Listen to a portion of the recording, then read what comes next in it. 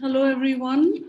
Very good evening and welcome to this talk, which is the third talk of our lecture series, Science and the Local.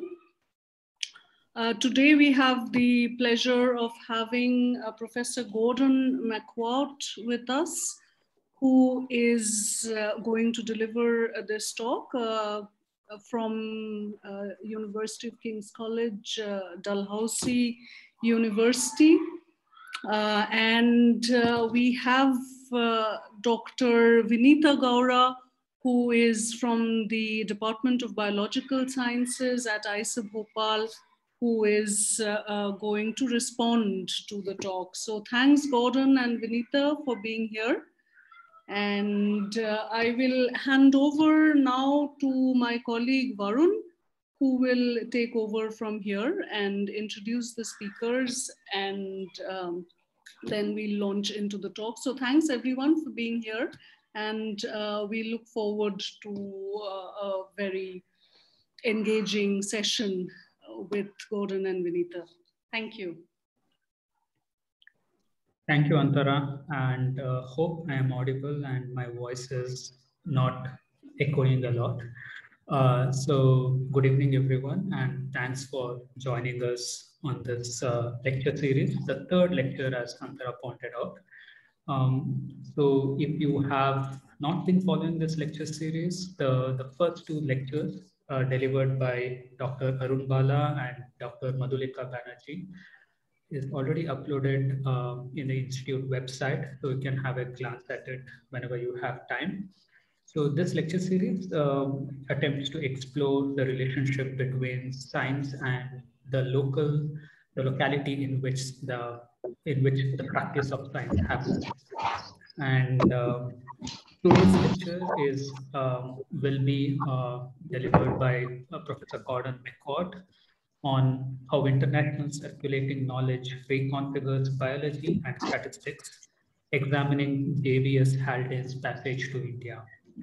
So, and um, um, I'm glad that uh, our colleague from the uh, Biological Sciences Department, uh, Dr. Vinita Gowda, has agreed to respond to this. So I will introduce uh, both of them and uh, after that we can start the session. Um, first, a brief introduction to Gordon McOuat. Gordon McOuat is the director of the History of Science and Technology program at the University of King's College, Dalhousie University, and works on the history and philosophy of logic, classification, life sciences, and the origins of natural kind. Dr. McOuat is the director of two international collaborations projects, Situating Science cluster for the humanities and the social studies of science. That's the first project. And the second project is cosmopolitanism and the local in science and nature, East and West, the second one.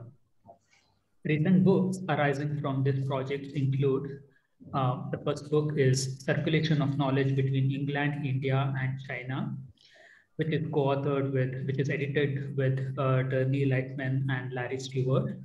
The second uh, edited volume, which has come out as a collaboration, is Narratives of Nature and Science East and West with Sundar Sarukkai and Jobin. The third book, which is about to be released this year, is Spaces of Science, uh, written co-written with Larry Stewart. So I welcome uh, Gordon. And uh, before we start, I a brief introduction to Vinita. Vinita Gowda is a professor of ecology and evolution in the Department of Biological Sciences at IISER Bhopal. Her research focuses on understanding life history traits and the evolution of plants, especially in the Asian tropics. She has worked in neotropics as well as in paleotropics, except Africa, and using this combined experience, she is currently interested in understanding and explaining the floral biodiversity in India as well as in Asia via molecular and ecological tools. She is also interested in the history, in the philosophy of science and how cutting edge science can be made accessible and comprehensible to the public at large. So with this brief introduction to both the speaker and the respondent, we will start the lecture, uh, lecture today.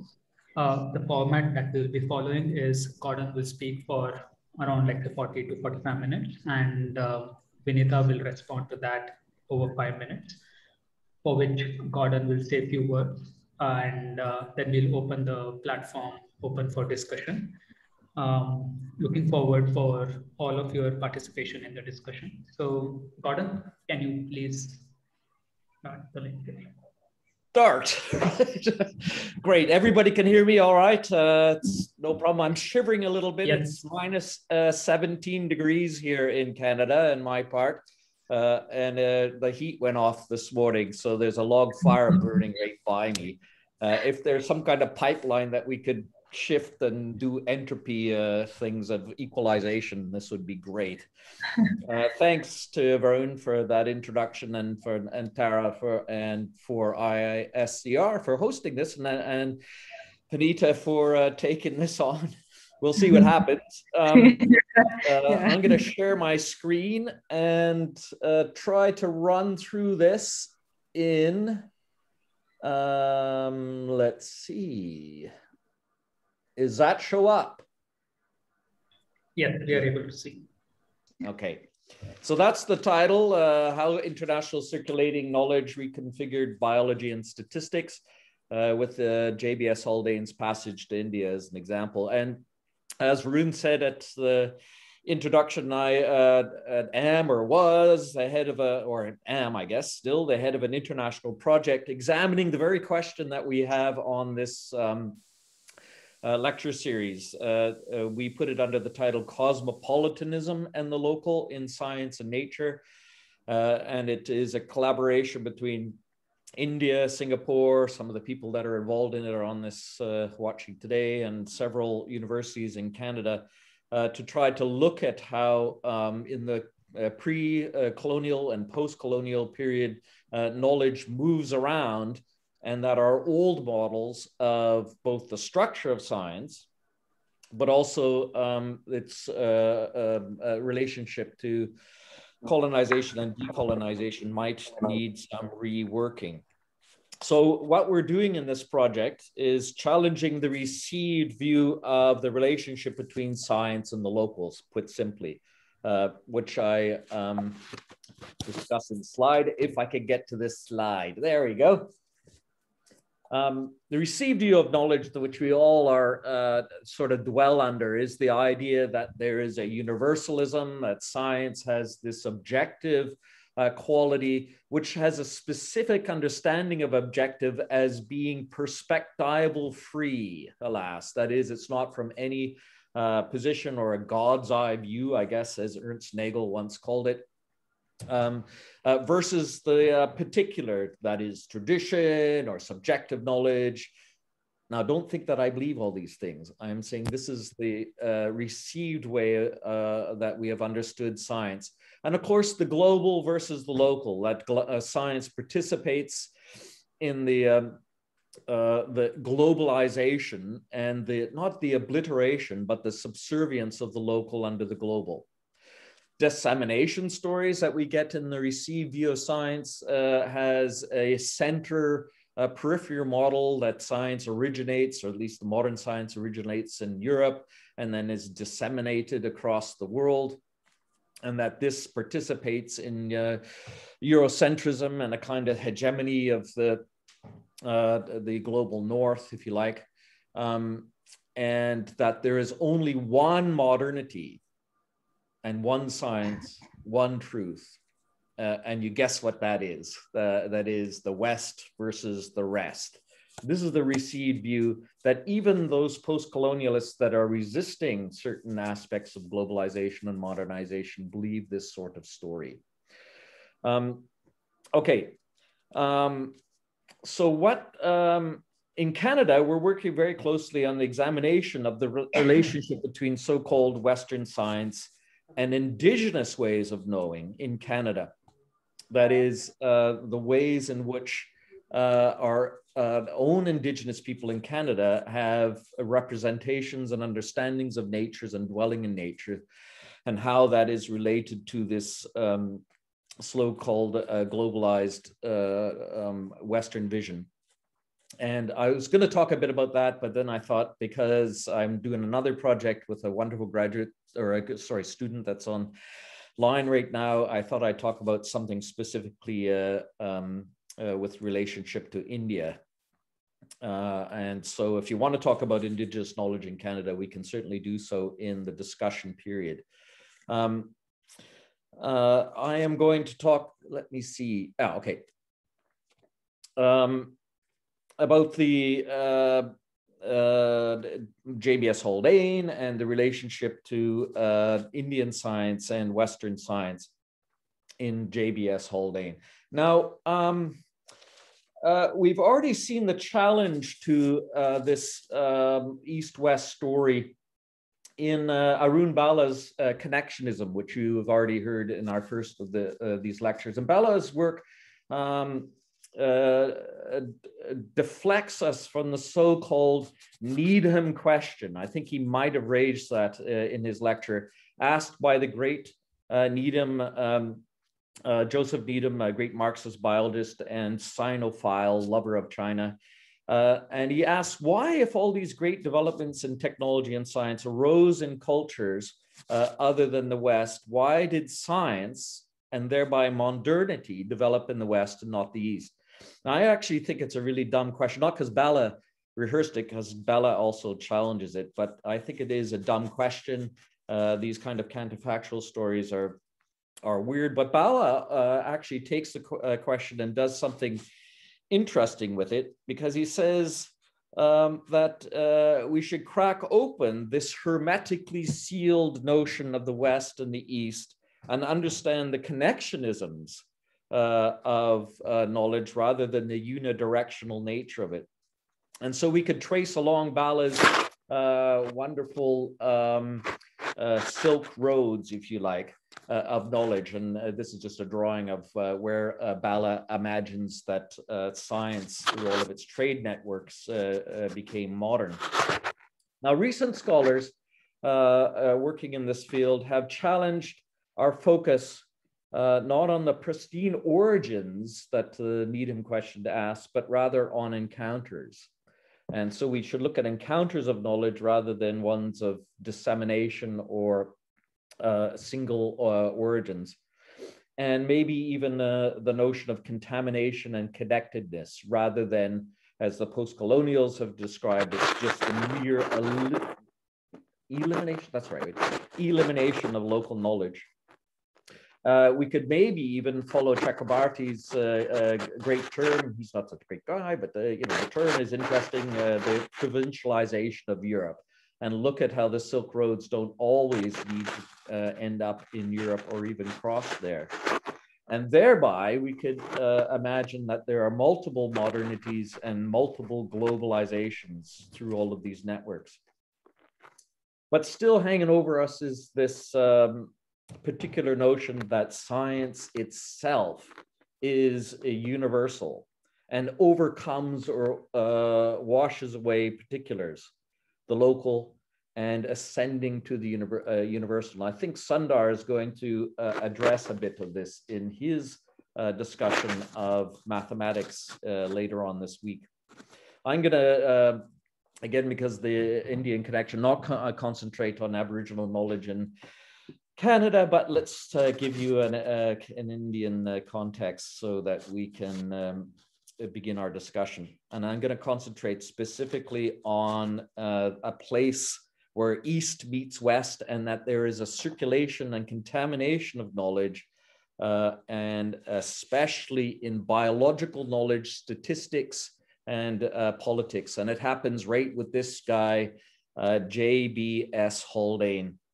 And I'm sure everybody in India has heard of him in the West. He is a big cheese lived from 1892 to 1965, probably the most important um, scientist for developing both modern evolutionary theory, but also the most important Western scientist to take seriously the encounter with India and the East and make significant contributions to the critiques of received science because of that encounter.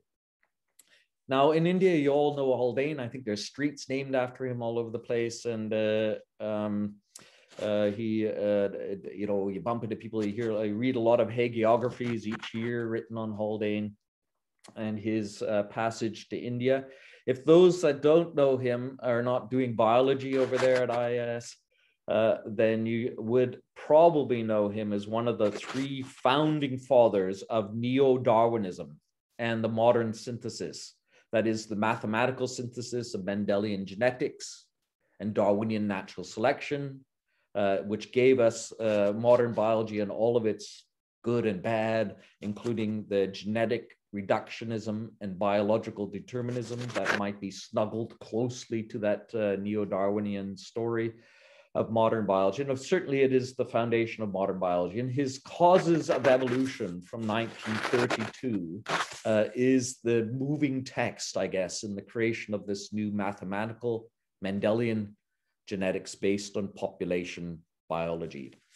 He's also known, if anybody does anything on ethics, uh, on uh, his uh, famous work on self experimentation used to uh, uh, say that I will never do a um, experiment on an animal that I won't do for my uh, do on myself uh, because the phenomenological experience of the experiment uh, does not, you know, gets over the uh, alienation, I guess, if you use that highfalutin term, of not understanding what is going on in the biological entity of which you're experimenting on I have direct experience if I uh, experiment on myself. And he did all kinds of uh, stuff. And uh, him and his partner, whom I'll talk about in a bit, Helen Spurway, experimented on themselves a great deal. This is him going into a pressure chamber where they put carbon uh, monoxide dioxide and to see at what stage they would pass out.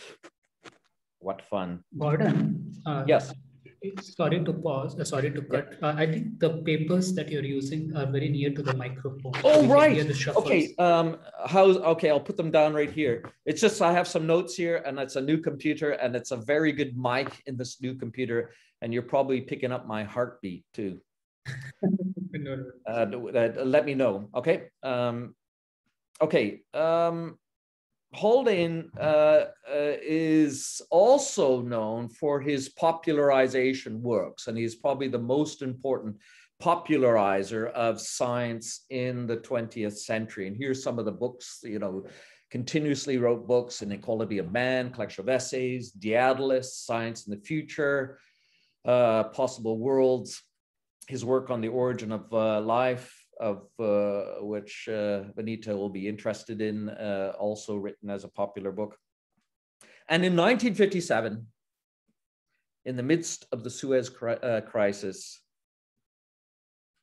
he was led to denounce his British citizenship and his named chair at University College London and headed to India at first to take up a position at the, uh, oh, here's uh, Haldane is a shit disturber. I forgot to mention that. He's also a major uh, a political rabble rouser. And as a result of that, he denounced his uh, uh, British citizenship because of the imperial moves during the uh, war in Suez and moved to India with his partner, Helen Spurway, who is an ethologist and a very important one, as we'll see uh, and moved to the India Statistical Institute in Calcutta uh, uh, to uh, uh, set up his home there and do his biology in India. So I'm going to look at his encounter there and how that encounter changed science and changed uh, the understanding of science towards a more local understanding of the importance of variation and difference and and explanation and all that sort of stuff. Um, now, if you're in the West here, you rarely hear of the India Statistical uh, uh, Institute or even this move. Uh, but people should know that, um, uh, well, there you probably know the India Statistics uh, uh, Statistical Institute, established in 1932. And it's the first such institute in the world to focus on statistics and the model for all biological institutions across the globe. And it was uh, born in a struggle for Indian independence, formed by Western trained uh, Bachelor uh, physicians, uh, physicists, uh, sorry, physicists, uh, where, where they created a hybrid encounter with mathematics and statistics on this new local landscape and in this anti-colonial anti-colonial India. Um, under the influence of uh, this guy, it was formed. See if you go, oh, there's some uh, students there, including uh, Jordan Robinson, Haldane's on the left at the bottom, uh, and Mahalanobis, the founder, who is right up there and now in this picture with Haldane. PC Mahalanobis, um, who lived from 1893 to 1972 everybody knows him uh, uh, there as the author of the first five-year plan and uh, very important in Indian statistics and biology. And I want to concentrate a bit on uh, on um, this encounter as a way in which to do introduce the local not only as an influence uh, uh, to the universal, but um, that the local here will give structural meaning and robustness and, um, and rootedness. Um, so uh, let's look at Mahalanobis. Um,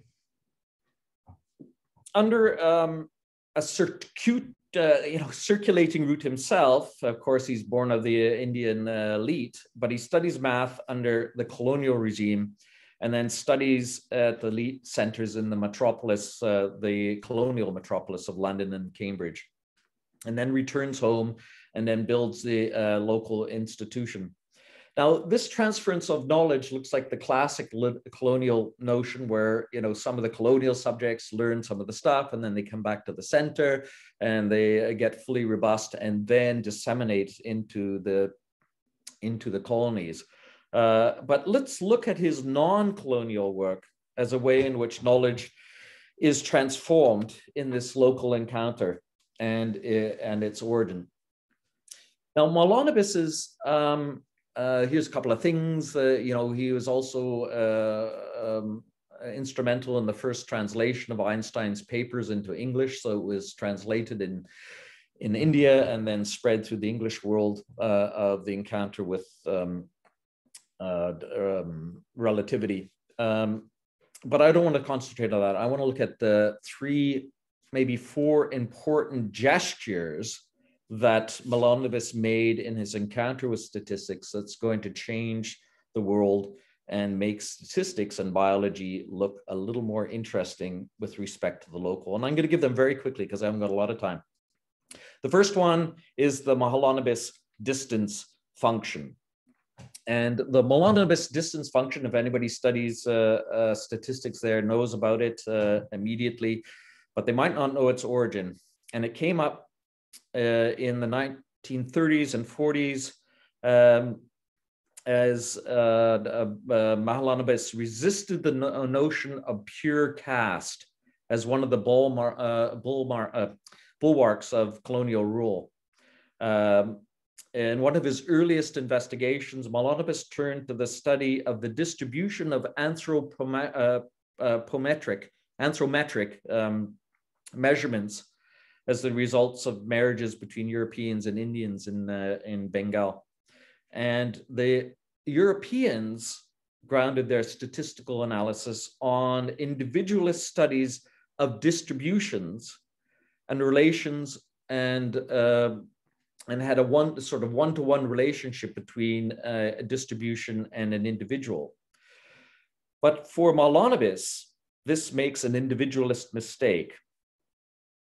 One had to study the relationship between populations and comparing group relationships. And he insisted that the one had to study the distance between a point and a distribution that is, how many standard deviations the point is from the mean of the population.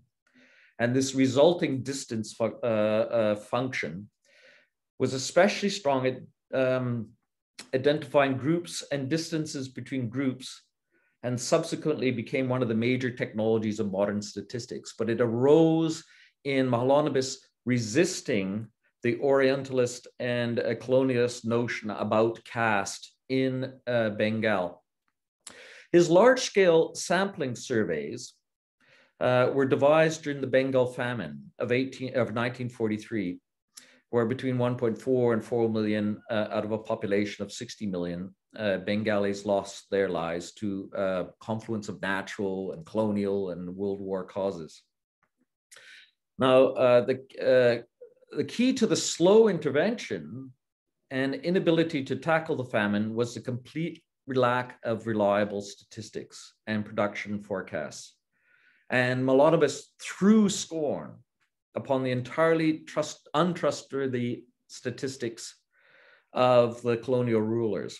The sampling techniques that they used were mere, uh, when they weren't mere guesses, were singularly unsuited to the variety and distribution of crops and markets and peoples in India. There was no measures for actual yields or areas. Uh, and Mahalanobis' solution was to envision a new method of sampling, which has now become completely normalized in uh, sampling techniques across the world. I'm not going to describe them at great length, but it is uh, a very robust style of sampling that takes into the wild variety of non-monogenic uh, crops and peoples. And uh, um, if we want to talk about it in the discussion, we can go through his, um, his sampling technique. Again, as a resistance to colonial rule. And uh, the um, uh, planning and biopolitics, I'll talk about it. Uh, and I'm now going to alight on something that Dr. Sundar Sarukkai will be very interested in. And this is Mahalanobis's interest in Indian logic. And early in his career, Mahalanobis uh, emphasized the probabilistic nature of the new developments that were happening in physics. Remember, he's the, uh, one of the translators of Einstein and quantum mechanics into English, and how all of this new physics was questioning the ontological and epistemological assumptions of our understandings of nature. Determinism was dead, he thought and variation and probability was now the order of the day.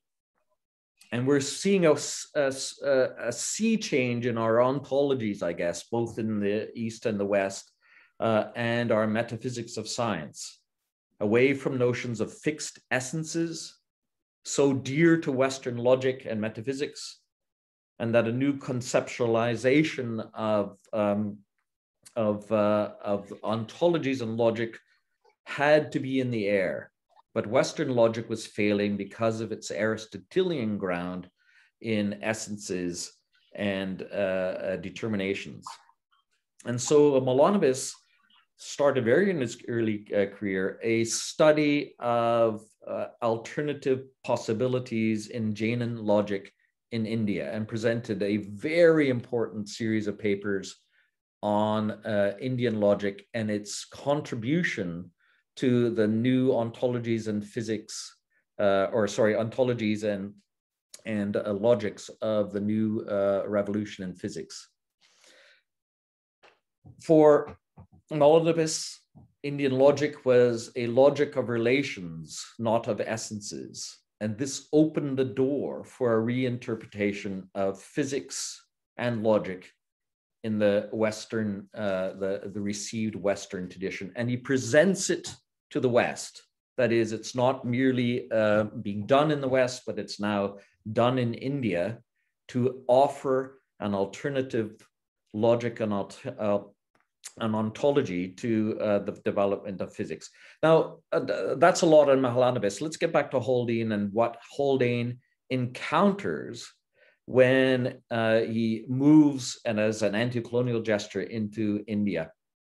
Um, and um, recognized Haldane as an anti-imperialist fellow traveler, a politically committed biologist, a statistician and organizer dedicated to uh, modern uh, Indian independence, and a phys- philosophically astute um, uh, uh thinker as well.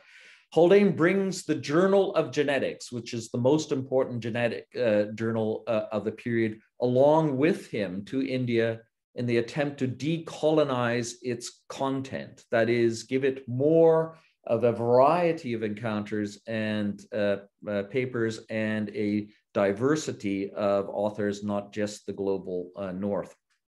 I have a student, I think he might be online right now, uh, Arden Gulski, who has uh, used the study of science uh, metrics to see whether the Journal of Genetics actually gets decolonized as it moves to India in 1957. Now, Haldane's move to India in 1957 on first gloss looks like the traditional, you know, center to periphery. Uh, you know, I'm pissed off at the center, so I go to the periphery uh, and uh, hang out there for a bit, uh, like a good Orientalist.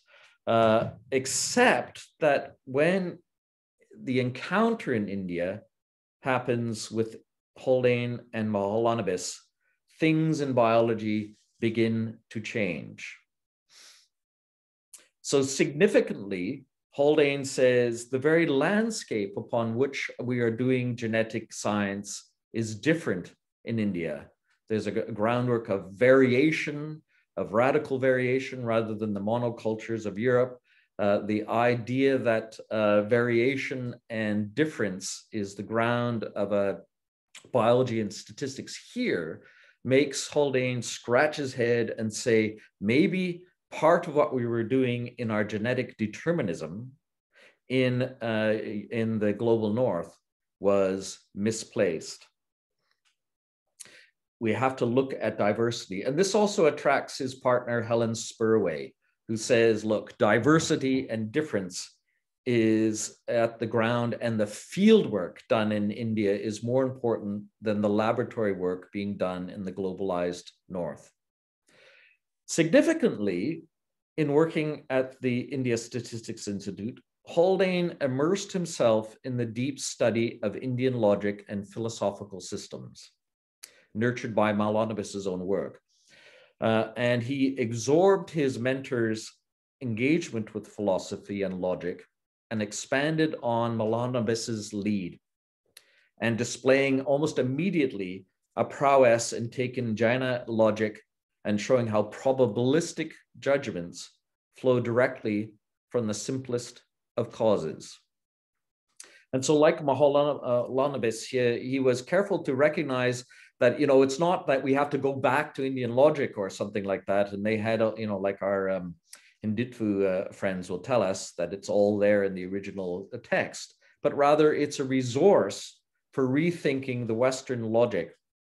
Uh, and, and with all of these encounters, Haldane presents almost immediately a different view, more local and more interesting view of biology and uh, modern science. And it is in his uh, um, Sardar uh, Patel lectures on the unity and diversity of life presented on Indian radio in 1957 and printed in 58 uh, that we see Haldane shifting biology or biology shifting under his feet, I guess, and reintroducing um, the central biopolitical slogan of his host institution, the ISI, unity through diversity. And that's the title of his lecture.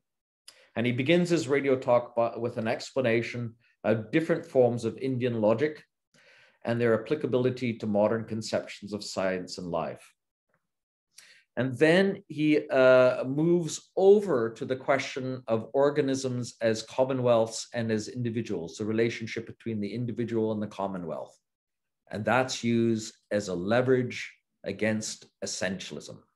That essentialism of the Western received view of science is kaput. Instead, we should turn to mixtures, mixtures of local variation and that essence is the essence of a dog, the genetic essence was the wrong way to go in the first place. This is an attack on uh, what is being called beanbag genetics. And Haldane, while in India, opens up a debate with the great naysayer for beanbag genetics, Ernst Mayr at, uh, at Harvard. And this wonderful debate that happens between Mayr and Haldane Haldane being a representative of the founder of modern beanbag genetics, that is, that genes are like beans and they're picked out uh, and they're determined into proteins and on bodies. And Ernst Mayr says, well, maybe that's not right. You watch how Haldane's encounter with India begins to shift him over and his mathematics to a different understanding of the relationship between genes and bodies. For Haldane, then, the emphasis is now going to be on variety. And in 1958, Haldane presents a very important paper. I'm not sure if any of you but have read it, uh, an Indian perspective of Darwin in the Centennial Review of Arts and Sciences published in the United States on how biology should change by this encounter. And he's now calling himself Indian uh, cultural appropriation, maybe, uh, but he is now saying that there's a perspective that is local that should tell us something about our biology and about uh, the nature of science.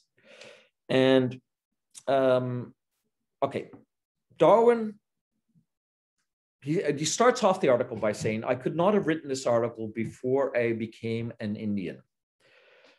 Darwin, says Haldane, is rightly recognized as an event in the development of all thought, and especially Western thought, because it convinces us of the fact of evolution. And we descend from animals. But he says Hindus and Buddhists and Jains of India and China needed no such convincing. But rather, Darwin's real contribution to biology, said Haldane, was not the notion of natural selection, which we hear in the modern synthesis and modern biology. And Haldane says, are predominantly Western prejudices tied to colonialism and domination, that is, ideas of natural selection and survival of, his, uh, of fittest, fit, fittest, but rather, the real revolution in Darwin happens in the studies of the irreducible variety found in the world. And if you look at Darwin's Origin of Species, and most biologists don't, the opening chapter, two chapters, are on variety and variation. And so, Haldane says, Darwin turned our vision to the wonderful nature of irreducible variety. But Western philosophy looks for essences and is less interested in the details of natural objects in their locale. And so there's a tension in modern Darwinism. Darwin, especially in the last chapter of The Origin, foreshadows a logic based on differences, says Haldane. And then uh, Haldane points to a whole um, branch of statistics based on random sampling, and especially Mahalanobis's notion of sampling. Maybe natural selection is identical to uh, Mahalanobis's notion of random sampling in statistics nature is statistical, but it is statistical not in an essentialist European sense, but one that is informed by the variation in Indian thought. And so, so there's a complete realliance, a realignment that uh, Haldane's encounter with the local in India is now reconfiguring all, all of uh, the understanding of biology and reintroducing it rather than the dissemination from the center to the periphery. The so called periphery is now reintroducing a new view of variety and biology and logic into the center. I can do one more. Yeah. So the reworking of neo Darwinism in the biological uh, locality of India uh, is concentrated on contingency and variety, and that nature is a historical experiment of sampling, such as that uh, we see in Mahalanobis, and that the local is uh, at the very ground of understanding science and biology. He also takes one more uh, ter interesting turn his self experimentation, which was done always under phenomenological understanding, European notions of the self and everything like that, would now be reconstituted to be one about the ethics of our fellow animals and not just about the phenomenology of the self. And Haldane presents us with a new cosmopolitan um, uh, synthesis of modern biology. And here is Haldane's practical experiment with reconfiguring knowledge uh, out to the West. Learn from this encounter to find from the local that biology itself was local and that there are fundamental things to glean here. Now, we can't go uh, all um, uh, fuzzy. Maybe we can discuss about this in the, uh, in the discussion group, whether uh, this is successful. Haldane is sometimes uh, uh, denounced in Indian biology as somebody that wanted to keep uh, uh, laboratories down and fieldwork up. same with Spurway, and thereby creating a, um, a disenvelopment in Indian biology. We could talk about, about that. Uh, but what I want to emphasize is this one quote from my colleague Sharon Kingsland, who is one of the great uh, historians of uh, modern biology. And uh, she tends to agree that modern biology is only possible from its encounters with the various local perspectival uh, views of what it is to be biological. And so I'll just quote this. Uh, the modern synthesis of biology followed a somewhat different course in different national contexts. These national differences were largely the result of differences in the institutional content of science, the economic resources available to evolutionary biologists, and the different developmental pathways followed by biological disciplines of different countries. The modern synthesis or modern biology, of course, had no conceptual essence, but represents an evolving dialogue played over several decades across several disciplines, and as she should have said, several locales, with individual views changing over time. So here is a local story giving us a, the, a resistance against the notion that universalism destroys the local, but rather is reconfigured by its encounter with the local. And it's not just the epistemology of the science that uh, Haldane is emphasizing in the local, but the very nature of science itself. The God's eye view for him and for modern biology should be a thing of the past. So we have some conclusion. I'll put them up um, and questions we can ask. Uh, how is the in this lecture series and also this lecture? is the relationship between the universal and the local being manifested by these new crossroads in India or in the stories that Bala and others have been telling? telling? Uh, does the local site of knowledge have anything to do with its content? Are there styles of reasoning? And what do we learn from those different styles? Are these essentialist? Is there something called the West versus the East? And why do we still talk about those things that some political theorists talk about the other? And, and I'm going to return to Bala's question at the very beginning of this lecture series. How do we rewrite those old, tired Plato to NATO, Greeks to the modern geeks, unilinear stories in light of these countless encounters of which the Haldane Mahalanobis nexus are just one example. I think I've kept under the uh, uh, time uh, thing. Here's a wonderful picture of Haldane's library um, in India, which is now being um, slowly deteriorating. You might want to all visit there. So I thought I'd finish with that wonderful picture. Okay. Uh, Gordon, thanks for the brilliant lecture and also um, for keeping on time. Um, I would request Vinita to respond, and after which, uh, of course, Gordon can respond to Vinita's points. Yeah. Hi.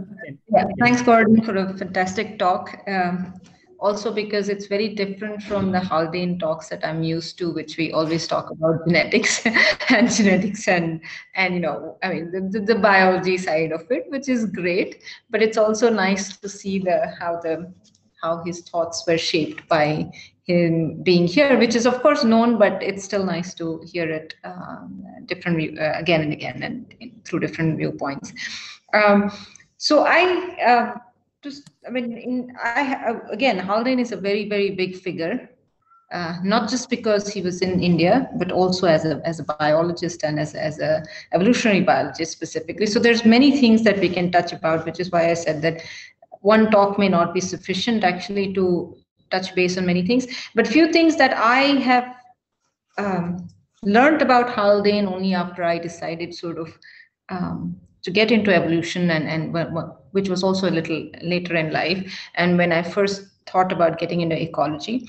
Um, and one of the perspectives that i i feel Haldane brought in and which has stayed to date is uh, at least among ecology and evolutionary biologists is the use of statistics and math with biology to understand that that sort of you know um, uh, sort of combination of of sciences which I felt um, still on a local scale, math is different, and then there's everything else, you know, or so that there's the hard science. You will still hear um, the word hard science and soft science.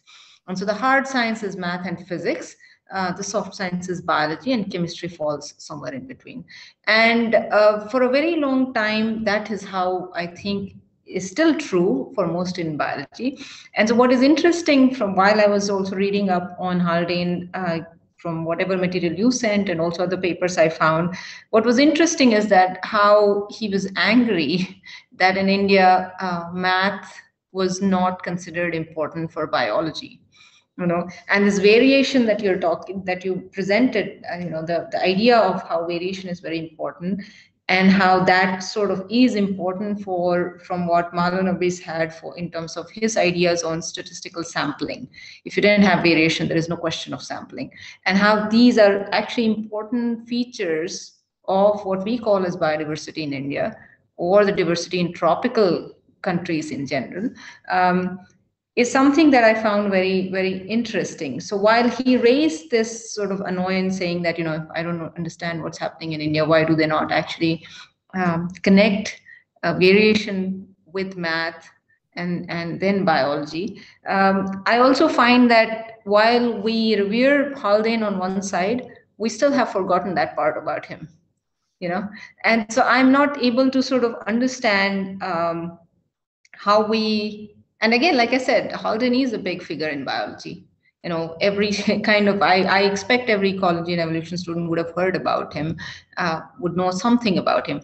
And yet these small points are lost. And I feel those small points are actually the fundamental points of what he was talking about, uh, which, which were triggered by his moving into India, you know, like uh, as a space and and what you pointed out about the Mayr versus Haldane argument as well.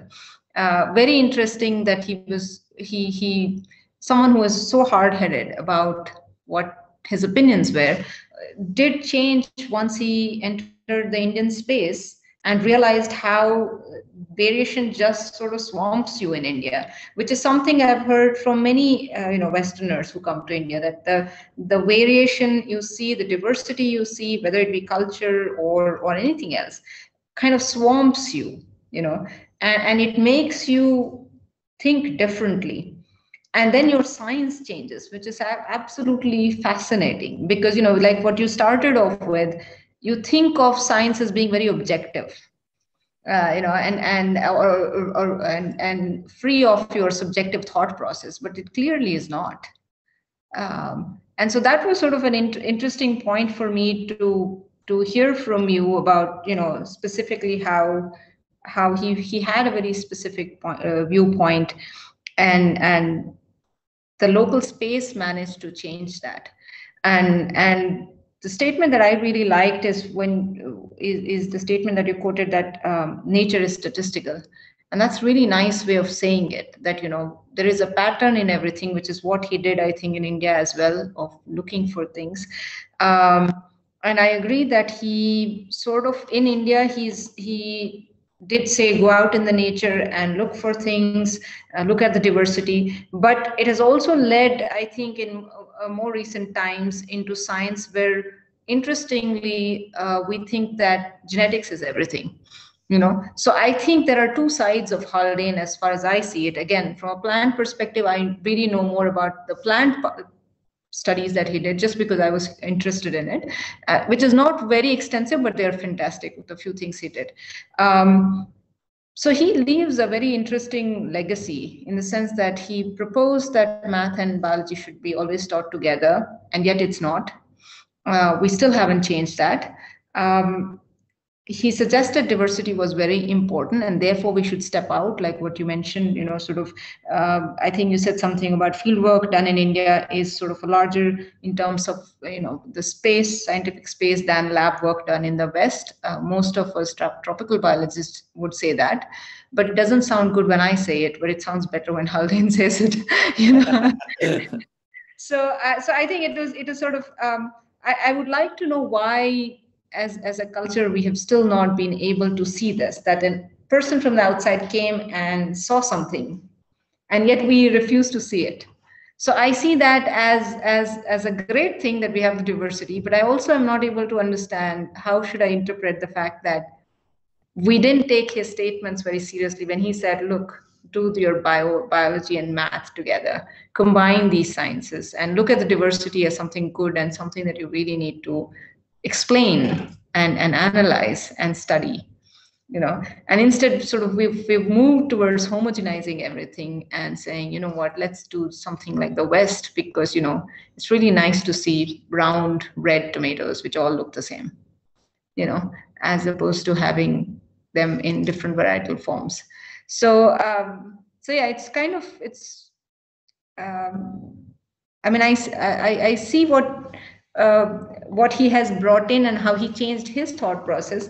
But I'm not so sure anymore that um, if we've been able to adopt and adapt uh, the thoughts that he brought, and similar to what you're saying, that if the library is not being preserved, that pretty much suggests what we have been thinking about his thoughts as well. That if it's slowly deteriorating, I think that sort of unfortunately represents what we have done with his discoveries as well. Um, so sorry, this is very long. Sort of respect. yeah. Yeah. So thank you for the for the talk, and I, I I've noticed that I think there are Manjari and few others from other IISERs are also here. So thank you for joining. Uh, since Varun does not know them, so I thought I'll. Oh, there's Manjari. Yeah, yeah. So Manjari has a. Sorry, Varun, I'm done. Yeah. Manjari um, had you want to respond? Well, a couple of things. I, I want to take up the time on the discussion, uh, but uh, the the word objectivity came up, and it's always one that comes comes up with my students all the time. And we created a notion of objectivity as this. Um, again, Ernst Nagel describes it as the view from nowhere or view from God, uh, God's eye view or something like that. That leads to um, I think ba- uh, uh, Bala talked a bit about this. I know Sundar will do so uh, that we always imagine that objectivity means a complete elimination of the perspective of which one encounters the world. But that cannot possibly be true. We've made a mistake at a, associating objectivity with that. Objectivity, in its original sense, meant knowledge and closeness to objects. Now, where do you get uh, close and, and knowledgeable of objects? Not by abstraction, by going to the universal, but by trying to figure out how they interact and uh, intertwine, not only with uh, each other, but also with the perspective that uh, one is encountering the world. And so, and you can see this a bit in Haldane's writing and certainly in some philosophers of science that have followed that we have to reconstitute our notion of what it is to be objective and it cannot be that we eliminate the perspective of uh, the encounter with objects from that story. And a lot is to be learned from that. And it's uh, ecology does it. Why doesn't genetics and physics uh, uh like to tell that sort of uh, story?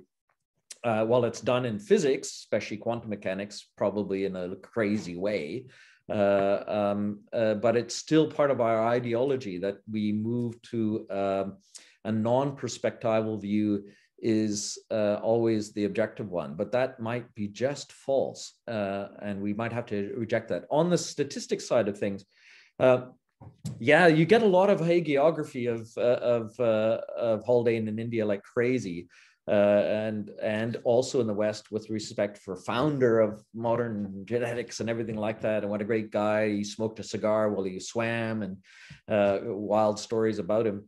But nobody ever wants to really snuggle in there and see what this final project was uh, offering. And it offered the diversity notion. It offered a reconstitution of um, mathematics and statistics into biology in a in a, a different way and the emphasis on, on variety. Uh, India goes uh, towards just developing the Western uh, model, um, and that's an interesting story of which I uh, talk for hours about, but you, you know it firsthand from your perspective. the Mandri asks, actually asked uh, just before uh, I hand it back to Varun uh, in the comments about the uh, data on uh, Journal of Genetics.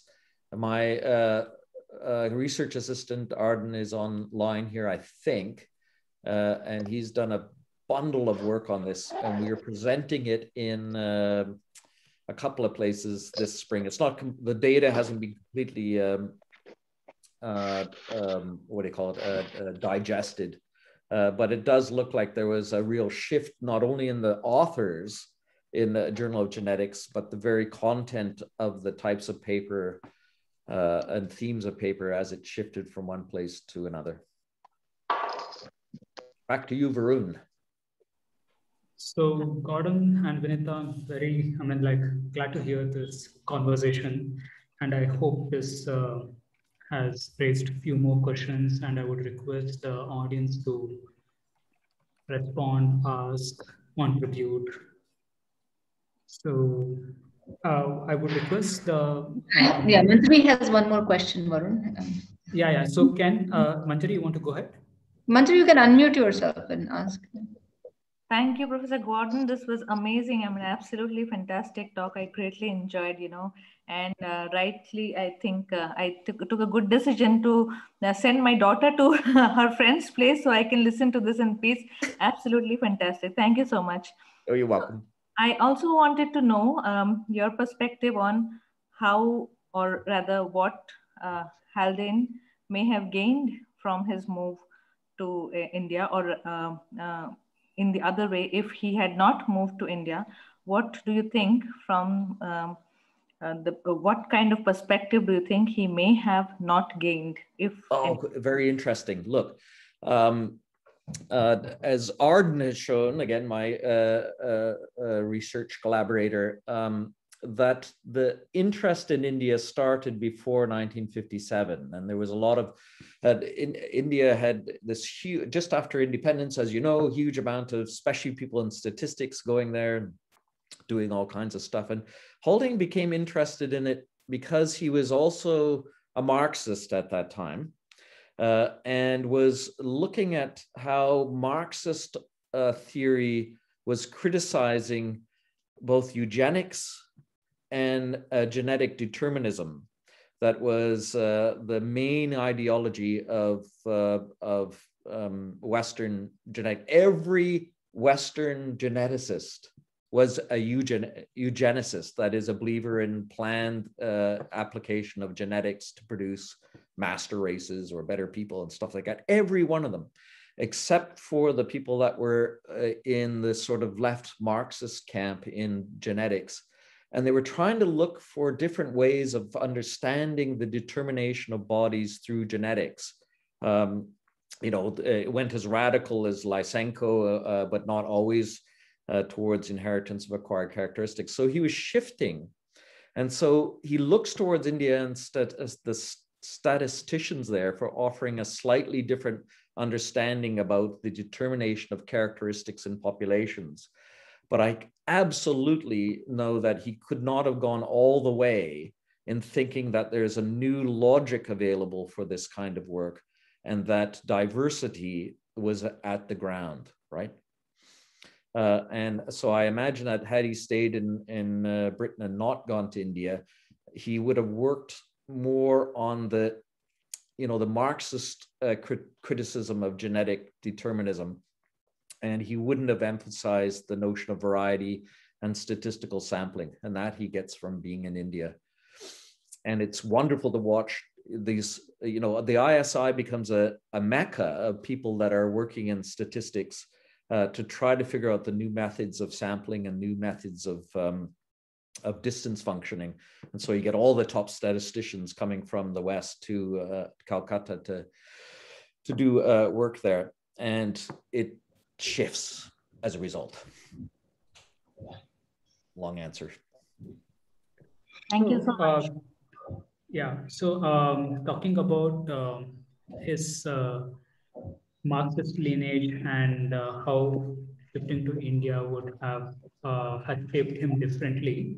One of my colleagues here, Dr. Raja Krishnan, has a question related to that which I'm posting here. If you send to me over private chat. So, uh, Gordon, you want to respond to that? Is this the one that's in the comments that you just put up? Uh, yeah, yeah, yeah. So this is his Yeah. question.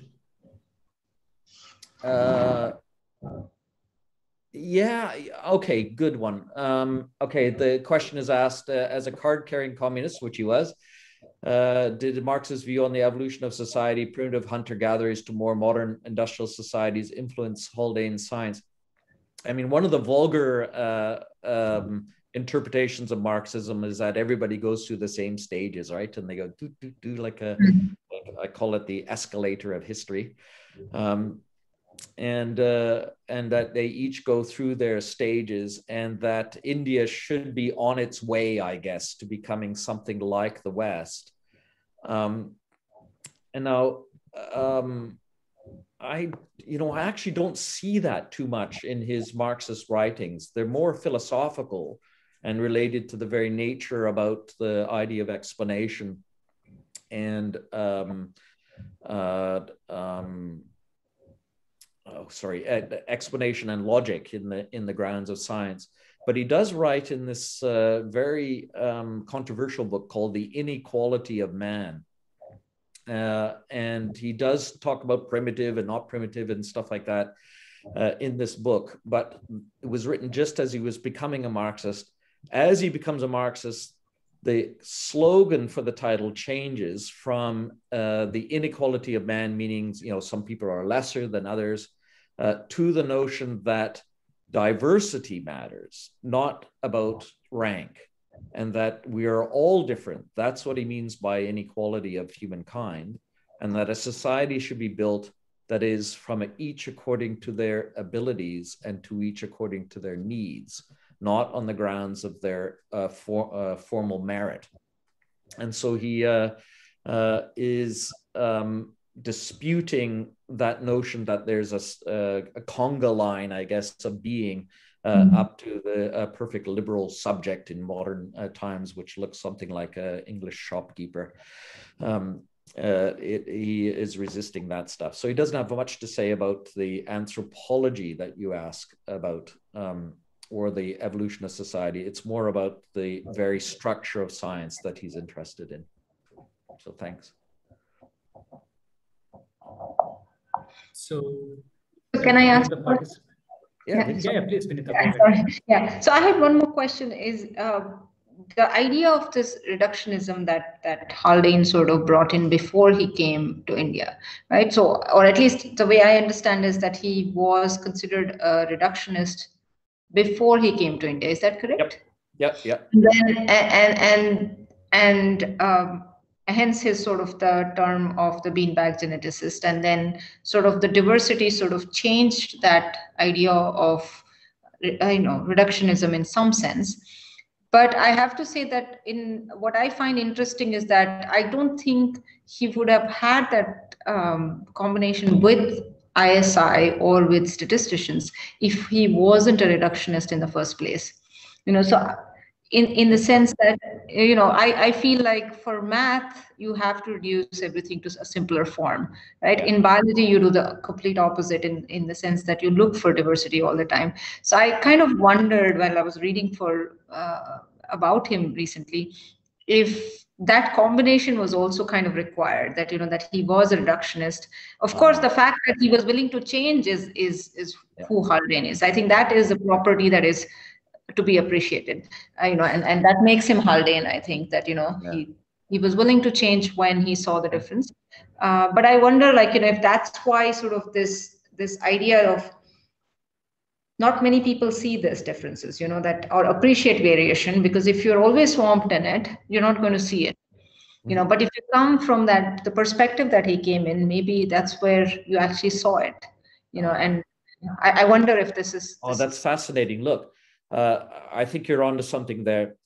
His attraction to go to that institute in particular is mm-hmm. because mm-hmm. of the statistical uh, um, robustness of it, right? Mm-hmm. And it mm-hmm. seemed to, you know, uh, people in political science use this term biopolitical. That is, they wanted to mm-hmm. reduce everything down to uh, statistics on life and make the state based on that, right? Mm-hmm. So he's very, this is cool. This looks maybe like a planned economy uh, this looks like we can really get to the mathematics uh, that are mm-hmm. responsible for this, right? Mm-hmm. But it's actually, to use a Marxist term, uh, it's a little more dialectic insofar mm. as that the ISI and Mahalanobis are both trying to reduce down to mathematics and to especially some statistical methodologies, but their style of reasoning is resistant to what they think is the Western and the British notion of mm-hmm. statistics mm-hmm. that brings it down to the individual, right? Mm-hmm. And that the individual is the site of, a, of statistical um, scaffolding, I guess, that's based on that. Uh, and if you look at how statistics changed in the 20th century, uh, the move away from a determinant individual that's determined by all the antecedent conditions to a statistical one where it's uh, it's only a propensity to act as a member of a population, mm-hmm. uh, that really changes everything. Mm-hmm. I think. Mm-hmm. And uh, and Haldane is moving from an individualist viewpoint to the one mm-hmm. where the statistics are uh, are about propensities that are not reducible down to determinist stories, mm-hmm. and uh, and that adds to variation, right? Because a real good variation story in evolution is one where the uh, you don't need the determination of variation, right? It doesn't need to be mm-hmm. determined. It just mm-hmm. needs to be a property of uh, of difference, right? Yeah. And, and so going over there, he, he encounters two things. One, an ideal place to do this. Nobody else in the world is doing this uh, as much as this. And at the same time, what they're doing is resisting the very notion of what I thought statistics was about when mm-hmm. I hung around my uh, uh, uh, Fisher and and uh, Pearson and uh, my teachers in in Britain. Mm-hmm. Whammo! Uh, so it it it messes it up, I guess. Mm-hmm. Yeah. Uh, Vinita, you have uh, yeah one, one more yeah one more question was that um, i mean again this is more sort of what is currently going on which i kind of touched upon uh, early on is this uh, concept of uh, many Indian universities sort of dropping math as an essential field for biologists, you know, which is sort of the complete opposite. I mean, how common is this in the West that oh. the that the math and bio uh, biology are seen as um, subjects that truly don't necessarily need to meet. I mean, if they meet, great things happen. But then it's like it's it's about the general concept, right? You don't feel it's I mean, to say that they, they're essential is different than, well, they can work together kind of thing. So I feel that uh, not many people say um, um, um, about, you know, like uh, whether it's important or not. So Manjari said, but what about IISERs? Do you see it as a positive change? Well, yes and no, because yes, Manjari, I think in most IISERs we do, but we don't insist um, I mean, there have been discussions, which is where I'm coming from, where uh, students insisted that to be in math, they don't need biology, and to be in biology, they don't need math.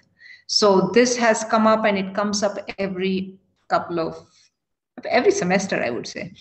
So unfortunately, if we drop it in the IISERs, then yes, we will. I mean, it is it is a challenge for us as well. Um, so we so always and and and the idea is that um, the way these two subjects are taught is that either you're inclined towards it or not, which is true in some sense, but, but which is true for any subject. We all have certain inclinations, but to suggest that you don't need the subject is something hmm. that is quite uh, unacceptable to me. Uh, yeah, this is this is fascinating. Look, um, I teach in a uh, the two universities I teach at. One is predominantly humanities, and the other one is predominantly uh, uh, science research um, with biology way at the top. Um, I tease my biology students that they go into biology because they don't want to go into physics um, uh, and do all the math. And I really tease my humanities students that they're in humanities because they can't do either. they can't add up to seven.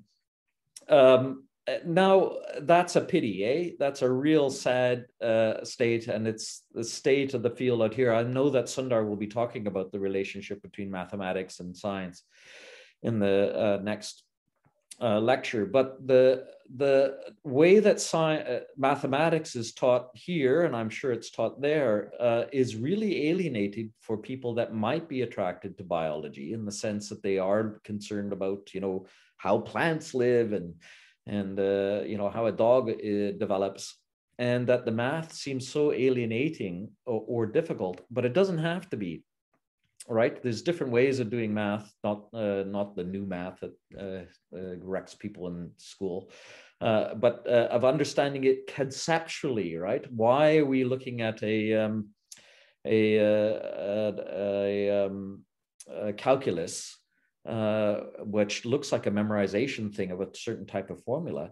Conceptually, it's fascinating to think about the uh, movement, uh, instantaneous movement with relationship to time and space, and why why can't the people that are interested in biology and physics, uh, or sorry, biology and psychology or humanities, find their place in mathematics uh, by looking more at the conceptual ways that it's right rather than this this clamp that happens oh we'll do the mathematics it'll be very difficult and esoteric and you'll die. Uh, or well i'd rather go over here and just look at plants and uh, not have anything to do with it. Uh, haldane was a classicist. Do you know this? That he had no training in math. No i didn't know that he, no. he, his degree is in classics like latin greek oh wow and uh, and he uh, he did his math and uh, he um, he revolutionized statistics and biology mathematically, but without a degree in mathematics. Oh, now, wow. it would be hard to find a classicist now that knew any math at all. Or, or, or it's other way around that it's it's yeah. hardly that we would respect a classicist or we would allow a classicist to do do what he did. I think it would be the other way around. I think. oh yeah, we, you're right. We don't allow. Yeah, yeah, yeah, yeah. And the same with the the great um, uh, D'Arcy Thompson, who uh, uh, worked on morphological forms. Yeah. Uh, he was a classicist uh, yeah. that became interested in form. And we'd never allow it now. And this is a this is a tragedy. The two cultures. although we always talk about interdisciplinarity and all this sort of tub thumping about this stuff, uh, nobody ever wants to uh, say, well, let's do something interesting that way. I have a, a, few of my students. I have a wonderful student who is um, ex-student who is a the professor of art history at Glasgow University, and she's working with scientists now to do different representations of mathematical uh, stuff in artistic form. And she says there's no division between humanities and, and sciences. Uh, bring them on board and it's wonderful to watch this kind of thing. Uh, mm-hmm. but it's still resisted in uh, university structures both there and here. Mm-hmm. And in the teaching, it totally alienates people. Mm-hmm. In psychology, they pick up, uh, uh, you know, the stat- statistics and things like that. But I call it spray-on statistics, right? They've learned a mm-hmm. few methodologies. They plug in their n equals 12 study uh, a tiny and they think they have a distribution or something like that but it just mm-hmm. pours out of their uh, whatever computer program they've handled and very few of them understand what the hell is actually going on. And that's a pity because it produces so much bad data and so much uh, causal inference from bad uh, cor- uh, correlations. Mm-hmm. Hugely bad. Uh, so we got to change the education system there and here. Maybe. so by that time, we wait for others to warm up to ask the next question. Uh, Gordon, I have a question to ask, and which um, is connected to the last statement that you made in the discussion time during your presentation of uh, going from Greek to the geek. I mean, like, how is that, or why is that, like, say, the the importance of the local doesn't emerge in other other disciplines, sub disciplines of science? Like, say, I mean, it's so predominant the, the, the importance and the need of a local um, in biology that we see is not sadly observed in, like, say, physics or chemistry.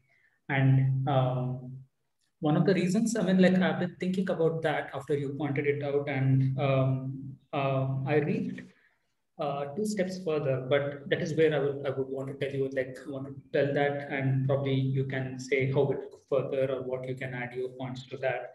One of the ways that, like, say, the, the discipline of biology itself and what it is concerned with seems to be with the natural history of uh, the the world or the universe or the earth that we stay in. Um, and somehow um, physics and chemistry um, uh, is interested in the counterfactuals. Like say, what if the electron was of a different oh, wow. uh, mass? we would have had a different universe and they'll play with the parallel universe. Oh, very interesting. And so on and so forth.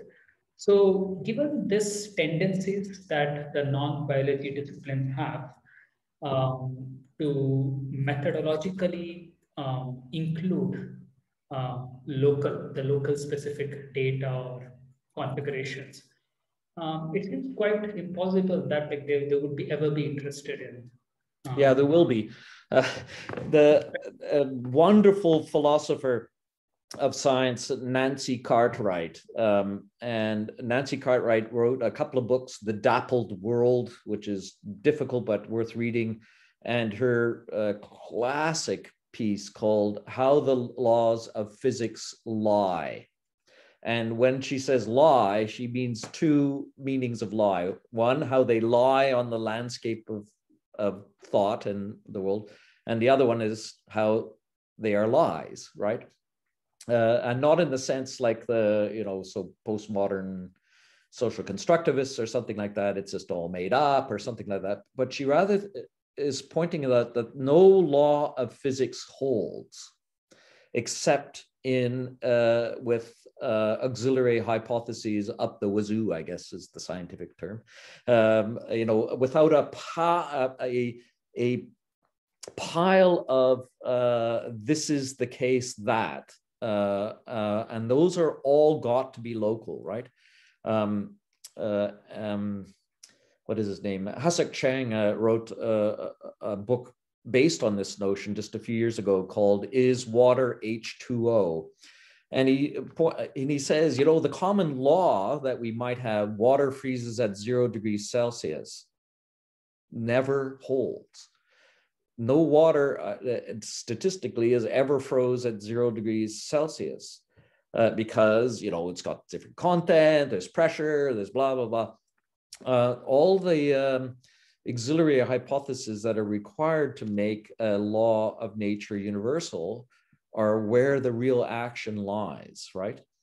And it is a counterfactual, if you like, the, um, but it's in the counterfactuals or the imagining uh, uh, scenarios where uh, the conditions are can be controlled uh, that the uh, real interest for scientific universal laws lie but that they are not descriptions of nature that are universal in the sense that we have often understood them to be.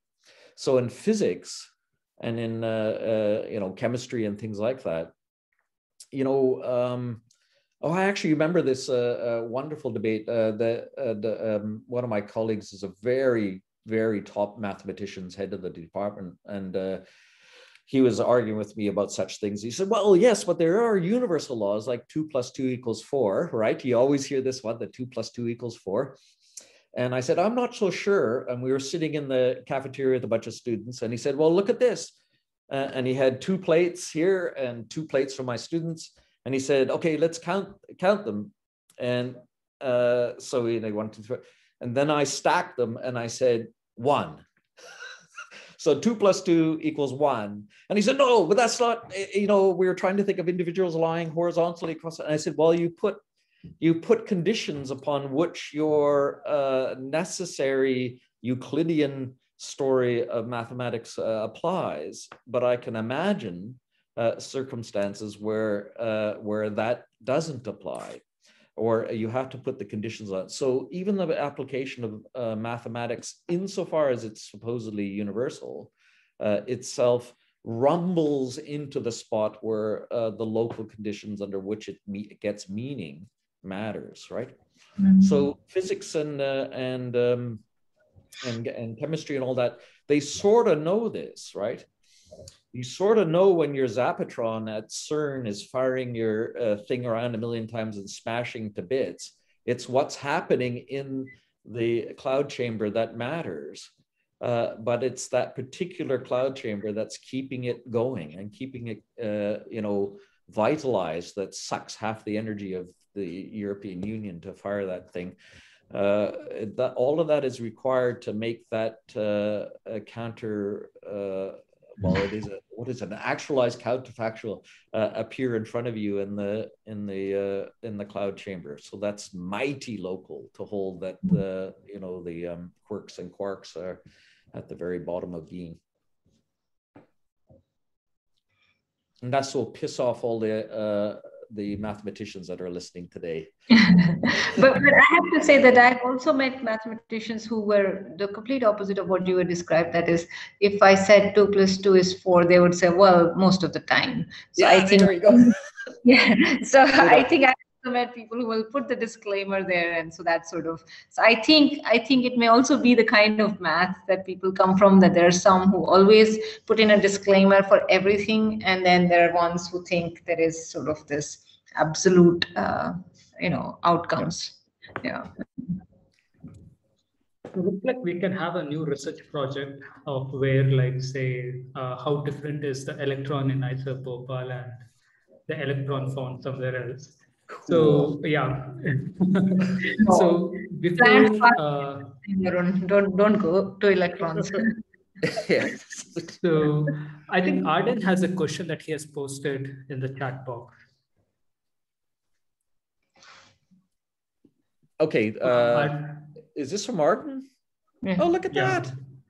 He's uh, he's in uh, he is in Canada right now, but a thousand kilometers from me. Um, uh,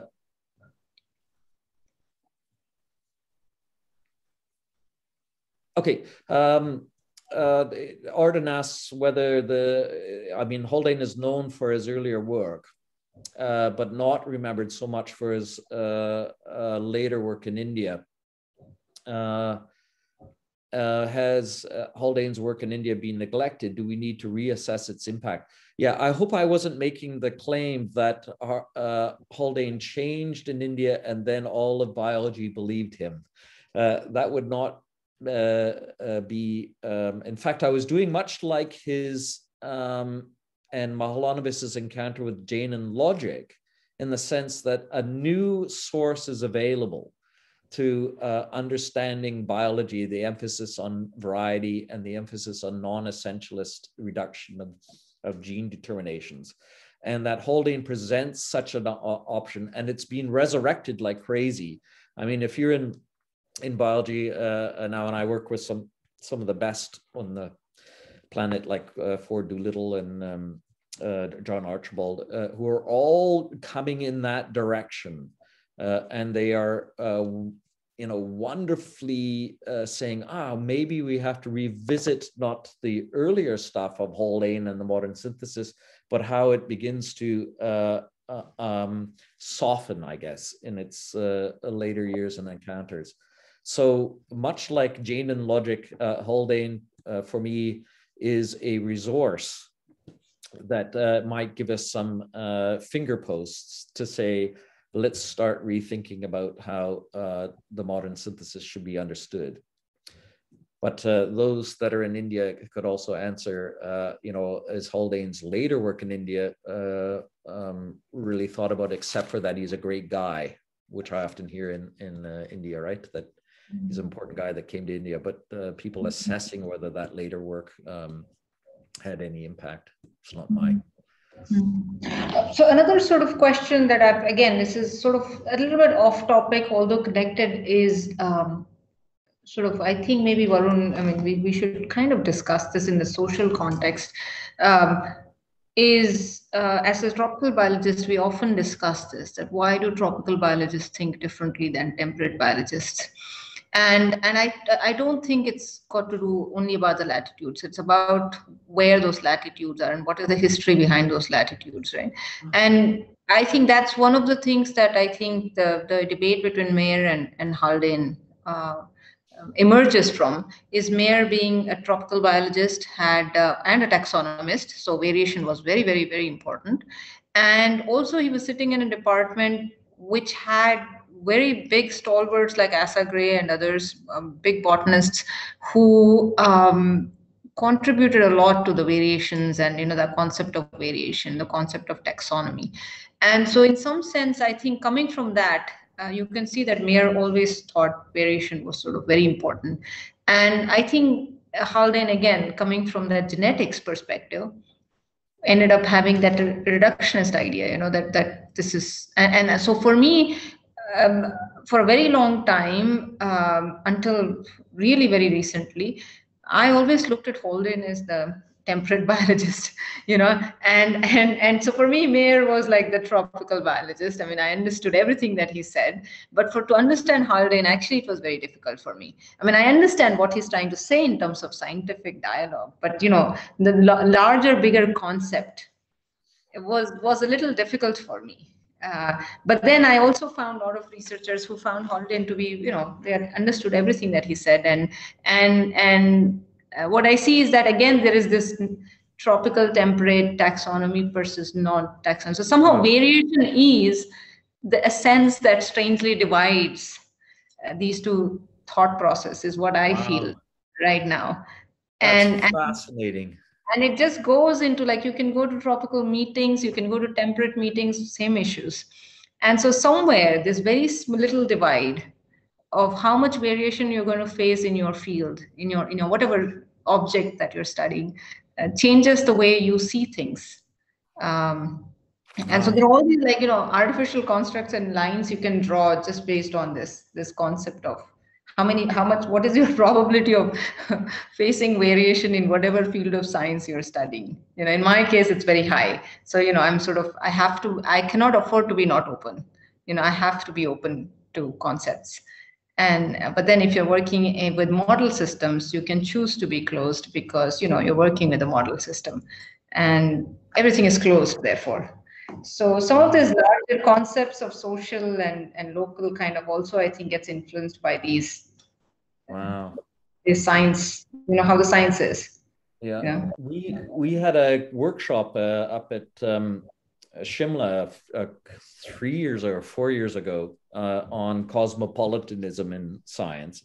Mm-hmm. And there was a, a, a, idea floated there. I can't remember who. I have to look at the the um, the collection of papers from it uh, and introduced the notion of a cosmopolitan objects uh, very fascinating uh, and say that there's just certain kinds of things in science that lend themselves to the study through variety and uh, others that uh, lend that call forth this mm-hmm. is only one interpretation mm-hmm. Uh, to us and so we shouldn't be dogmatic in our always looking for variety because there just are some kind of things that that gather people around in their perspectives and say oh it turns out uh, electron is a classic example, right? It, uh, they're supposed to be all identical.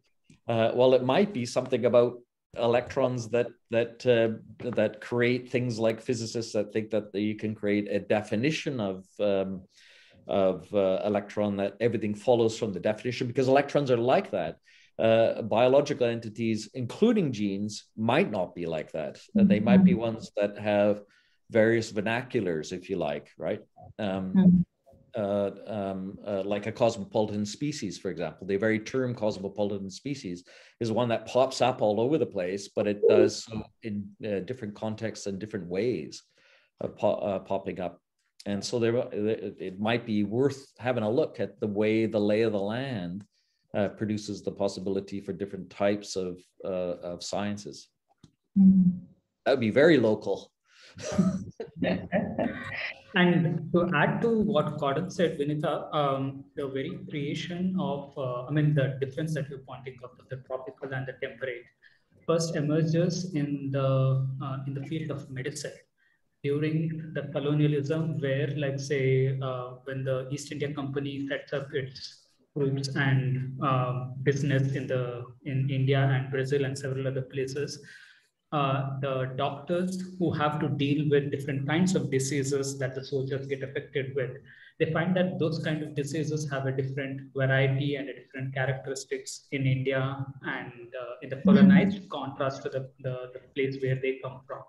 And that creates to a dialogue which took half a century uh, to create what is the difference between called as the tropical medicine and the temperate medicine. Mm. So, so it is because of that the the research in malaria and several other like say leprosy gets intensified because of the doctors coming to the colonies and doing the yes. Mm-hmm. Yeah, that is that distinction. I learned, yeah, that's something I learned in the U.S. during my grad school. That uh, I found it very strange that you go to the west i mean a country like us and suddenly you see very heavy investment in studies on malaria and some of these and some of this some tropical diseases that you know is linked to their sort of war areas or the fact that they want to expand their army bases. And then we come to india where these are real problems. You see the concern on cancer or things that truly is fine. I mean it is a disease but truly not the major uh, uh, you know local sort of disease of concern so it's very strange how you have these two polar opposites, you know, and studying completely different diseases because the focus is completely different. So it's got nothing to do with the science behind it.